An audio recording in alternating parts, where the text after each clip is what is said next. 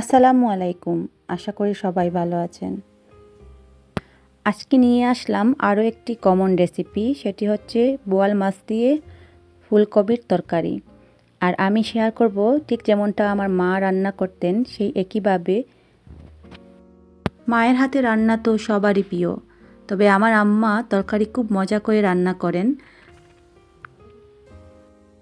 আশা করছি আজকের এই রেসিপিটা আপনাদের সবার ভালো লাগবে, যারা ফুলকপি পছন্দ করেন।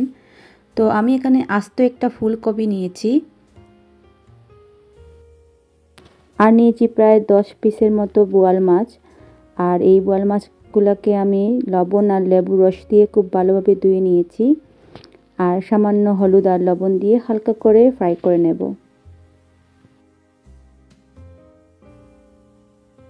তবে মাছ যদি ফ্রেশ হয়ে থাকে, তাহলে কাঁচা মাছ দিয়ে রান্না করলে আরও সুস্বাদু হয়ে থাকে।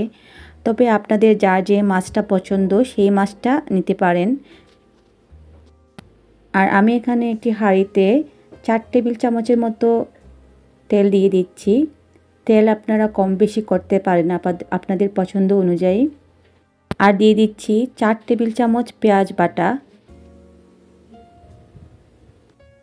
দিয়ে দিচ্ছি এক টেবিল চামচ লবণ। এবার কেটে রাখা সবজি দিয়ে খুব ভালোভাবে কষিয়ে নেব, আর চুলার আঁচটা থাকবে মিডিয়ামে।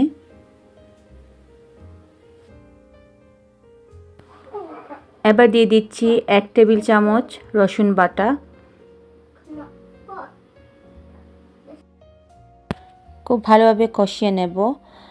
আর এভাবে রান্না করব প্রায় দশ থেকে পনেরো মিনিট মিডিয়াম আছে, যাতে ফুলকপি হাফ সেদ্ধ হয়ে যেতে পারে আর ফুলকপিতে যে স্মেল থাকে সেটা চলে যেতে পারে। আপনাদের বোঝার সুবিধার জন্য আমি এখানে প্লেটে সব মশলা একসাথে রেখে দিয়েছি। তো এখানে মিক্স কারি পাউডার এক চা চামচ আছে, জিরা পাউডার এক চা চামচ, হাফ চা চামচ হলুদ গুঁড়া, ধনিয়া এক চা চামচ আর হাফ চা চামচ মরিচ গুঁড়া। তো এদিকে সবজি সেদ্ধ হয়ে এসেছে, সবজি থেকে অনেক পানি বেরিয়ে এসেছে। এবার আমি মশলা একে একে দিয়ে দেব, সব গুঁড়া মশলা দিয়ে আবারও খুব ভালোভাবে কষিয়ে নেব। তো এভাবে রান্না করলে সবজির ভেতরে মশলাটা যে, যায় আর সবজি অল্প সময়ে সেদ্ধ হয়ে থাকে আর খেতেও ভালো লাগে। অনেকে হয়তো মশলা কষিয়ে রান্না করেন, তো যারা মশলা কষিয়ে রান্না করেন ভেজিটেবল তারা এভাবে ট্রাই করে দেখবেন। আমি আশা করছি আপনাদের ভালো লাগবে। ফুলকপি থেকে যে পানি বেরিয়ে এসেছে, সেই পানি দিয়েই আমি চেষ্টা করেছি ফুলকপিটাকে খুব ভালোভাবে কষিয়ে নিতে।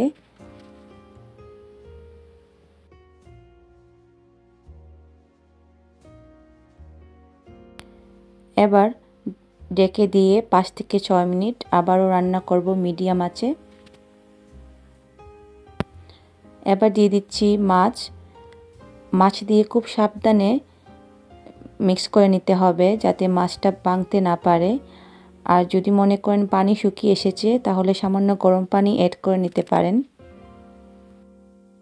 মাছ দিয়ে আবারও ছয় থেকে আট মিনিটের মতো রান্না করতে হবে যাতে ফুলকপিতে মাছের যে ফ্লেভার সেটা যেতে পারে।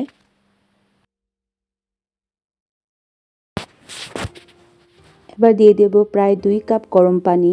আর গরম পানি দিয়ে এভাবে মিডিয়াম আছে আবারও রান্না করব পাঁচ থেকে ছয় মিনিট।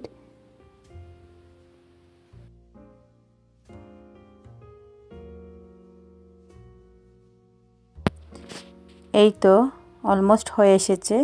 এবার আমি লবণ চেক করে নেব। লবণ চেক করে সামান্য ধনিয়া পাতা দিয়ে দেব। আপনারা চাইলে কাঁচামরিচও দিতে পারেন।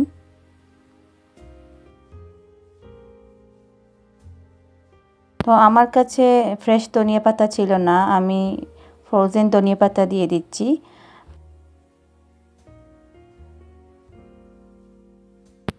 সো ভিউয়ার্স কেমন লাগল আমার আজকের রেসিপি অবশ্যই আমাকে কমেন্ট বক্সে কমেন্ট করে জানাবেন। আর অবশ্যই আমার চ্যানেলটাকে লাইক শেয়ার করতে ভুলবেন না। আজকের মতো এখানেই বিদায় নিচ্ছি। সবাই ভালো থাকবেন। আল্লাহ হাফেজ।